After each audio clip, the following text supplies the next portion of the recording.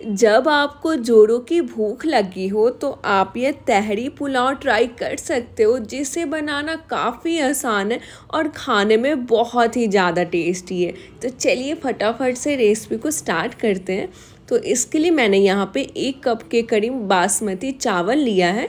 और अब हम इसमें पानी डालकर इसे अच्छी तरीके से धो लेंगे और इसके पानी को अलग कर देंगे और चावल को भी अलग रख देंगे।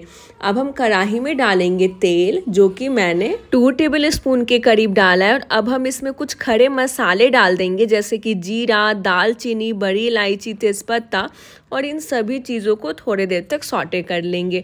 और अब हम इसमें one by half tablespoon के करीब लहसुन one by half tablespoon के करीब अदरक one by half tablespoon के करीब हरी मिर्च one by fourth tablespoon के करीब हींग और वन बाई थर्ड कप के करीब प्याज डाल देंगे।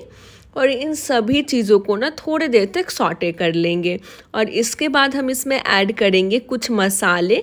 ज़्यादा मसाला कुछ डलाएगा नहीं, बस हमें इसमें वन टेबल स्पून के करीब लाल मिर्च पाउडर वन टेबल स्पून के करीब धनिया powder one by half tablespoon के करीब हल्दी पाउडर और one by half tablespoon के करीब ही जीरा पाउडर डाल देना है और इन मसालों को थोड़ी देर तक सॉटे करना है और इसके बाद वन बाई हाफ़ कप के करीब पानी डालकर फिर से इसे मिक्स कर लेना है। और मिक्स करने के बाद हम इसमें ऐड करेंगे कुछ सब्ज़ियाँ। तो मैंने यहाँ पे वन बाई थर्ड कप के करीब बारीक कटा हुआ गाजर एक कप के करीब उबला हुआ आलू ले लिया और एक कप के करीब गोभी ले लिया है और वन बाई फोर्थ कप के करीब फ्रेंच बीन्स और टेस्ट के हिसाब से नमक डाल के इन सभी चीज़ों को अच्छी तरीके से मिक्स कर लेंगे।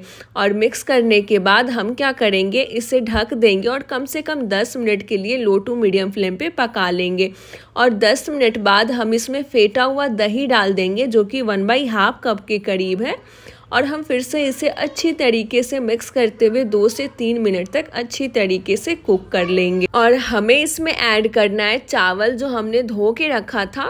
और फिर से हम इसमें 1.5 कप के करीब पानी डाल देंगे, ज़्यादा पानी नहीं डालना है। और अब हम इसे ढककर लो फ्लेम पे 20 मिनट के लिए पका लेंगे। और 20 मिनट में यह टेस्टी सा तहरी पुलाव बनकर तैयार है। और इसे गार्निश कर लेंगे हम इसे धनिया पत्ता से। और देखा ना आपने, ये बहुत ही खिले खिले बने और बनाना भी काफ़ी आसान है। तो आप भी एक बार इसे ज़रूर से ट्राई करना, आपको बहुत पसंद आएगा। तो चलो बाय